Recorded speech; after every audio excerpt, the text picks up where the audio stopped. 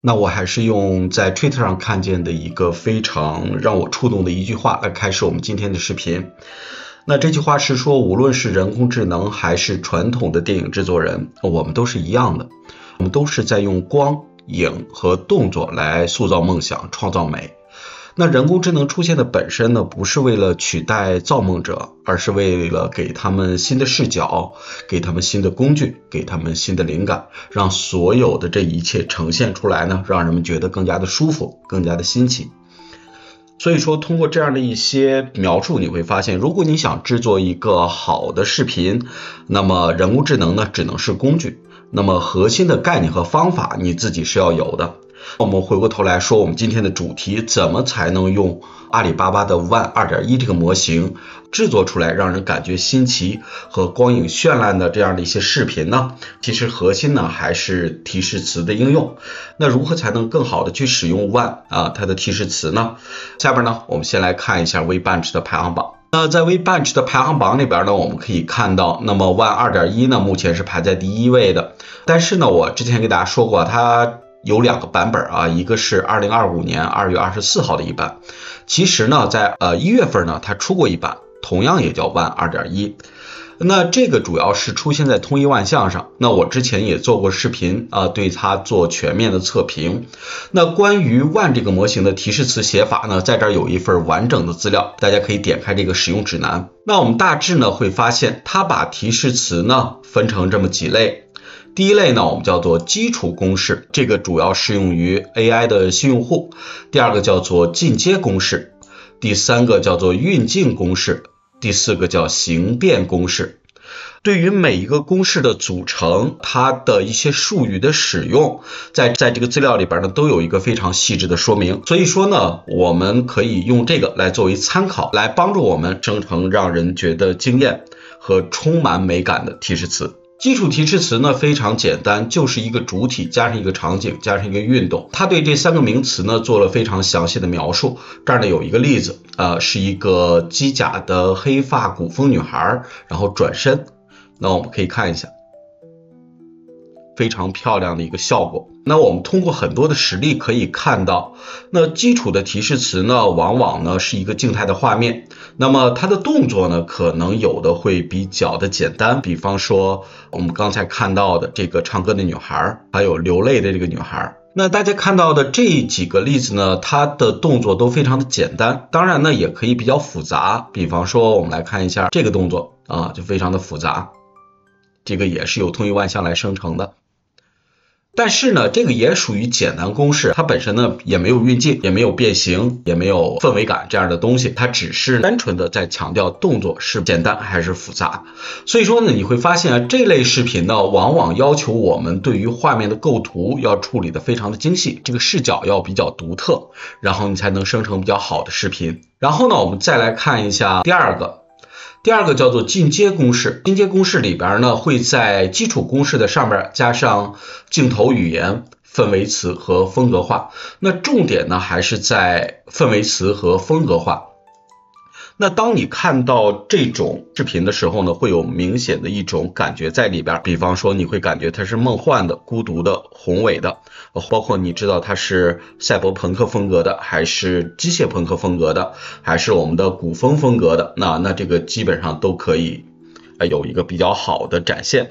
另外呢，它的镜头语言呢，重点是静态镜头的描述，比方说你是什么样的景别，是远景、中景还是近景。那在这样的视频里边呢，我们可以看到啊，它会有一些非常明显的质感在里头，比方青绿的，或者是这种电影质感的，所以说他会重点强调这种特殊的风格，比方这种宫崎骏风格的，对吧？而第三种呢是运镜公式，运镜公式在这里边的镜头呢，重点是运动而不是景别。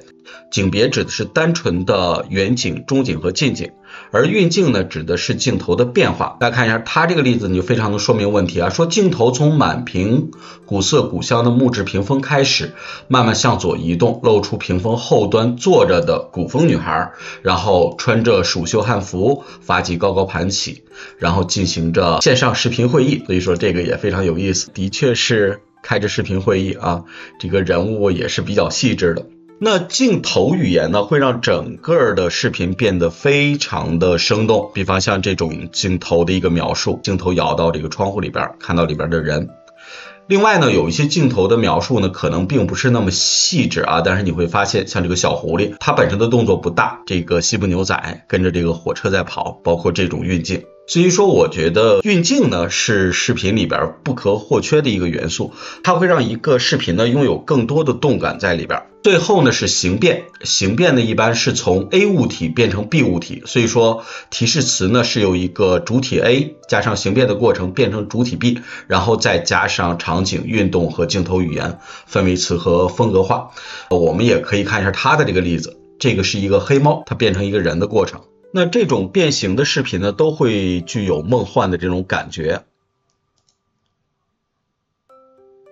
所以说呢，它在整个的表现方面呢，可能也是比较难实现的。当我们有了这样一份详细的文档之后，我们是不是要自己去写呢？这个是不太现实的啊，因为我们即便看了之后，也不可能写出来特别好的提示词。所以说，我们应该怎么办呢？这个呢，你应该尝试让大语言模型去写。那大语言模型的选择呢，其实有很多，比方说 ChatGPT 目前也是免费的，比方说呃 Cloud。呃，或者是 Gemini，或者是 Twitter 里边的 Grok，我觉得都是不错的选择。那我今天选择呢，依然是 Gemini。那下边呢，我们可以直接创建一个新的提示词的生成器啊。那首先呢，我们把这个名字改一下，我们叫做 One 二点一提示词生成器，然后我们保存一下。完之后呢，我们可以写这个 System Instruction。这个非常重要，那你看一下我是怎么写的。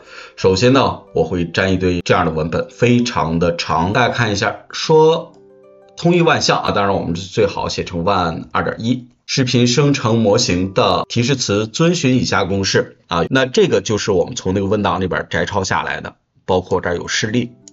进阶公式它的结构是什么？说明是什么样的？然后这儿也有示例，然后包括运镜公式。包括形变公式，那所有的这个里边呢，我就把我需要的这种公式的类型呢全部介绍给他了，而且我尽可能的呢是给了他一个实例的，而所有的这些资料都是来源于刚才我们看的那个文档。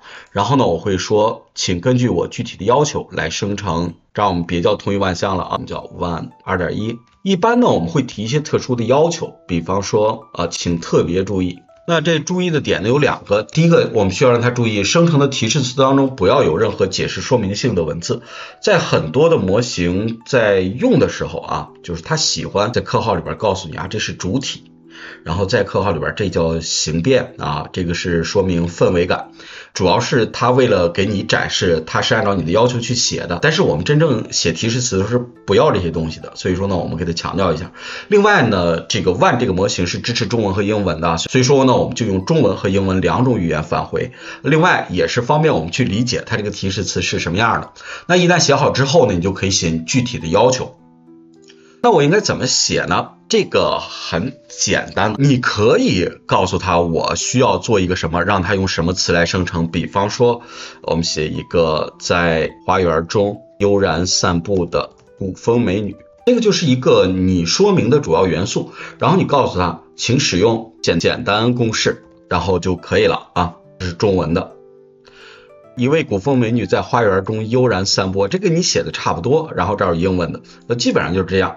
那这个东西它去生成的话呢，这个的确符合简单公式的一个构成方式。那我们可以生成一个，大家试一下。那我同样是使用 Running Hub 这个平台来给大家来生成这个视频。大家可以通过 Running Hub 点 AI 进到这个平台里边，然后点击左侧的工作台来构建你的工作流，可以导入或者是新建。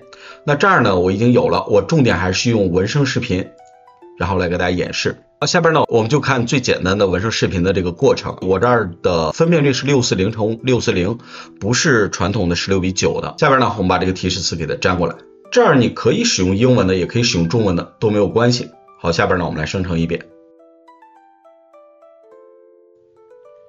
好，现在呢已经生成完成了啊。我们来看一下这个非常的好看，这个女孩呢在花园里边散步，对吧？那这是我们的最简单的一个提示词，所以说这个时候主要是要求画面呢要足够的精美。然后呢，我们回过头来看提示词。那如果我现在呢想让它用进阶提示词来生成，那你可以继续跟他聊。你要注意啊，大家要避免这种写法。有人说啊，我这儿然后再粘上，写上用进阶公式，不要这样写，因为你这样写的话呢，你写起来会很费劲。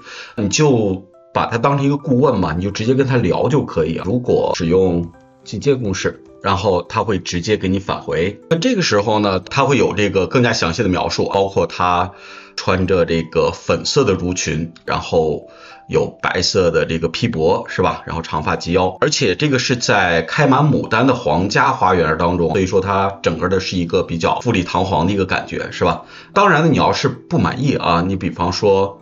我还是喜欢仙气飘飘一点，然后呢，他会根据你的要求再去改。那现在就是两种，第一种呢是在这个皇家花园里边，然后呢长发及腰，然后玉簪是吧，都比较华丽啊。下边这个呢就比较飘逸，那你看喜欢哪一种？比方我们看下边这种，我们拷贝一下，进到我们的平台里边，然后呢我们把提示词粘上，那再次呢让它来生成。它生成过程当中呢，我们继续来看这个提示词，它这有个水墨风格，我不知道出来这个效果会怎么样啊？那我们可以让它加一些运镜，是吧？假如使用运镜公式，那这个时候呢就变成了镜头从什么开始，然后缓缓拉远向上抬，展现一位白色广袖流仙裙，披着轻纱披帛的古风仙女啊，这个都很难念啊，反正挺好，是吧？看着挺过瘾，所以说你会发现，你用这样的方法呢，就能得到你比较好的这个提示词。比方，我希望镜头最后是定格在它这个面部的特写上，所以说呢，我们可以继续要求，我希望最后镜头定格在它的面部特写上，然后呢，它就又给你去改这个。另外，我觉得这个水墨风格呢不太好处理，是吧？我不知道它出来是一个什么。比方说，我希望它是一种奇幻电影风格的，那你就告诉他你的要求啊。它这写成了奇幻电影质感，这就是我们调整后的一个提示词。这儿呢，马上运行完毕。我们看一下这个进阶提示词它出来之后的效果。的确，这个水墨风格呢不是特别的好，可能有人喜欢。所以说，这个风格的控制呢也是很重要的。这就是为什么刚才我把它变成了这个什么呀？叫奇幻的这个电影质感。下边呢，我们用新的这个提示词来生成。那这个时候呢，就会有运镜的效果。运镜呢，我认为是整个的这个视频生成里边非常重要的一个环节，大家一定要注意镜头语言。它生成着，我们继续说我们这个提示词的部分。大家看一下，刚才我们跟这个提示词生成器的一个交互的方式，不是那种呃你告诉他怎么去做，而是说你有什么要求让他去做。呃，你要把你自己当成一个什么都不知道的一个用户，把他当成一个专家。而不是把你当成一个专家，把它当成一个助手。你提供的是想法和思路啊，他提供的是具体的实现方式。这样的话，你用起来才会更加的舒服。另外呢，这个可以直接用视频来生成我们的提示词。比方说，我们上传一个视频，之前我已经上传过了，我们找一个，我们看一下这个，那女孩在这里边跳舞是吧？你说我现在不知道怎么写，我有一个比较中意的视频，你可以把这个视频直接放上去，然后呢告诉他，请为这个视频生成提示词。大家注意啊，这个是一个进阶公式，一个身穿着浅蓝色的 T 恤和短裤、白色运动鞋的年轻女孩，留着黑色的长头发。大家看一下啊，就是这样一个感觉。呃，另外呢，你要注意，它用的是超现实主义。然后是一个俯视的视角，是一个冷色调，所以说基本上呢是把这个感觉呢给它完全描述出来了。然后呢，这个提示词呢是可以直接用的，所以说这也是生成提示词的一个方法。那另外的话，当然你还可以上传图片，比方你认为嗯比较喜欢的图片。它也是可以帮你直接生成这个提示词的。好，这个马上完了，我们看一下生成的效果。大家注意啊，这个帧数呢会对整个的效果有一个比较大的影响，尤其是对于运镜公式来讲，如果呢你这个视频的帧数不够，运镜呢没有办法非常好的把你想要的动作完全的展示出来，所以说有的时候呢你感觉上是打了折扣的。大家看一下，这是一个典型的运镜。这个花儿呢，还不是一个写实质感的，但是这种风格呢，我觉得也非常的漂亮。它跟刚才那个水墨风格呢是不太一样的，所以说你会发现用这种方法生成的视频呢，比你直接写或者你乱写生成的那个视频，其实质感要好很多。下边呢，我们来看一下仿制的这个。那同样，它生成着，我们继续我们的提示词。那么有些公式你可能不知道怎么写啊，比方说形变公式。那么你可以提一个非常简单的要求，比方说以古风女孩为例，以古风女孩为主体，帮我构造一个形变公式的提示词。然后呢，我们看一下，就是我也不知道它变成啥，反正我就让它帮我去想。它用三种这个描述方式把主体 A、主体 B 和形变过程呢全给你显示出来，但是这个是不太适用的啊，所以说呢，返回一段提示词即可。现在呢就是这样的一个过程，是吧？我觉得这个形变设计的不太好啊，我们试试吧，万一它要比较好看呢？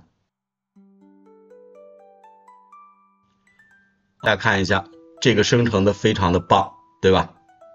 注意倒影的这个感觉确实挺漂亮。所以说呢，如果我们有一个参考视频，也是可以让人去生成的，对吧？然后我们看一下这个形变公式，这个大家不要有太大的期待啊，我觉得不会太好。好，我们生成一下。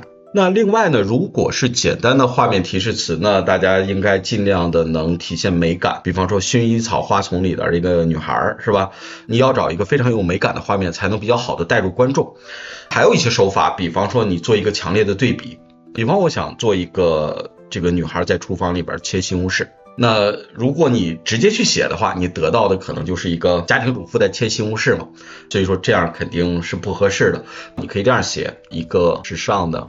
女孩在一个破旧的厨房里切西红柿，那这样的话呢，就是时尚女孩和破旧厨房就是一个非常明显的对比。那我们现在得到了一个提示词：身穿露脐上衣和阔腿牛仔裤，戴着时尚耳环的年轻女孩，在一个破旧不堪的厨房里在切这个西红柿。你可以继续优化这个。我希望女孩淑女一些，就是说她现在露脐上衣、阔腿牛仔裤，有点像小太妹这感觉，是吧？